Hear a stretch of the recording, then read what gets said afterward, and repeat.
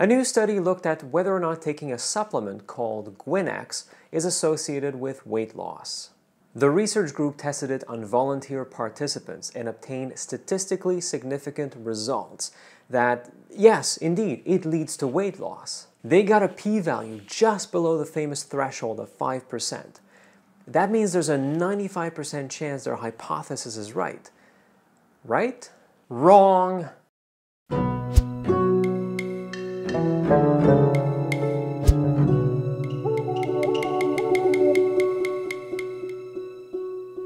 It means the experimental results should be taken seriously.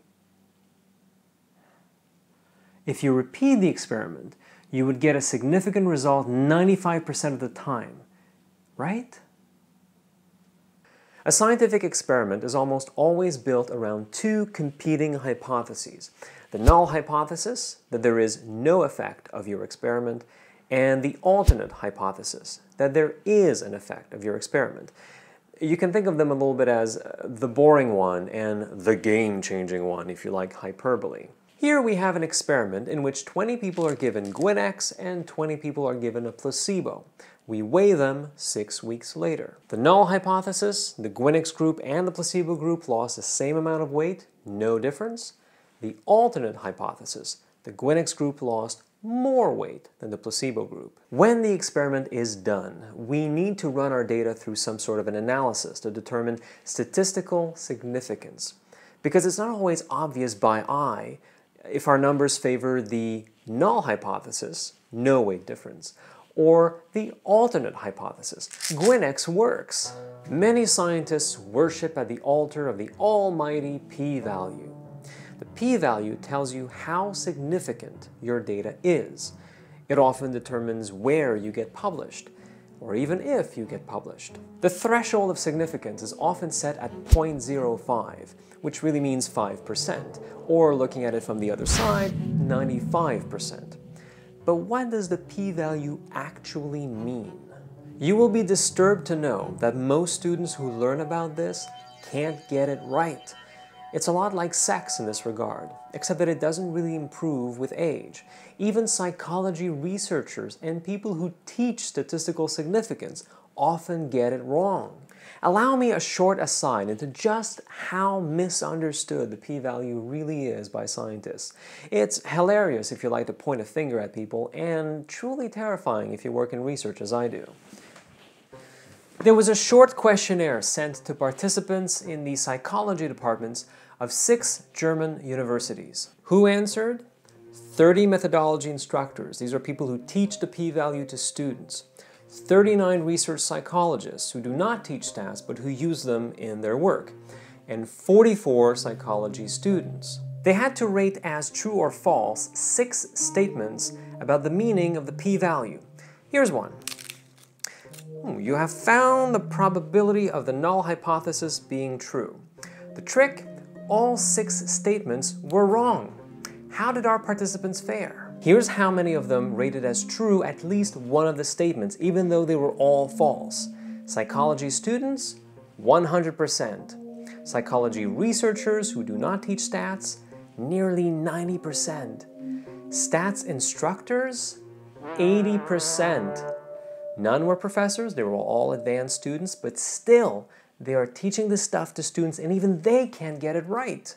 If 80% of law professors couldn't teach what evidence is admissible in court well, we'd have major problems in our legal system. Before I tell you what the p-value actually means, what this test of statistical significance actually tells us, here is a quick list of what it doesn't it does not give us a probability that these results would be repeatable under the same conditions.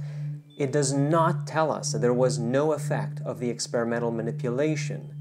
It does not prove or disprove a hypothesis. It does not give us a probability that a hypothesis is true. A lot of scientists think it is a measure of exactly that. How likely it is that taking Gwynex will help you lose weight given the data from our experiment? Not at all. Here then, finally, is what the p-value, so often reported in papers and implied by the media, when talking about significant results. Here is what it actually tells us. The p-value tells us the probability of obtaining the data we got or data more extreme than what we got, given that the null hypothesis is true.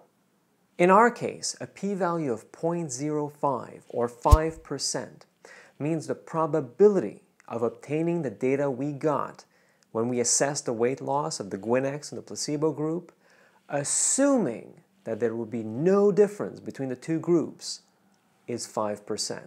The probability of our data, given the hypothesis, is 5%. The truth value of the hypothesis is never in question here. We are assuming it is correct. Now, if I invert the logical order here, we get something completely different that cannot be assessed using the p-value. This is now the probability of the hypothesis given the data. This is what scientists usually want. But this probability is a Bayesian probability. It requires a different type of statistic that takes into account prior plausibility. Once again, the p-value gives us the probability of observing what we did given that there's no difference between Gwynex and the placebo. Bayesian statistics give us a probability that there's no difference between Gwynex and the placebo given the results we got in our little experiment. If you don't get the difference, trust me, there is one. Both types of stats are important. They are simply tools that must be used for the right job. They have been compared to kitchen utensils. A knife isn't great to eat soup with, and a spoon is kind of difficult to cut with. Turns out, a lot of scientists, and I mean a lot of scientists, are eating their soup with a knife. So when you hear through the media that a new study achieved high levels of statistical significance, odds are they're talking about the p-value. It may not mean what they think it means.